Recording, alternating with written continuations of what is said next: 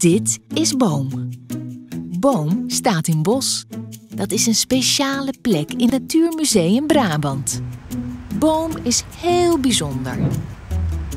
Hij is als zaadje het museum binnengekomen en nog nooit naar buiten geweest.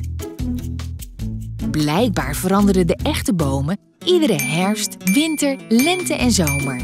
Maar Boom weet niet hoe dat moet. Boom heeft jullie daarbij nodig.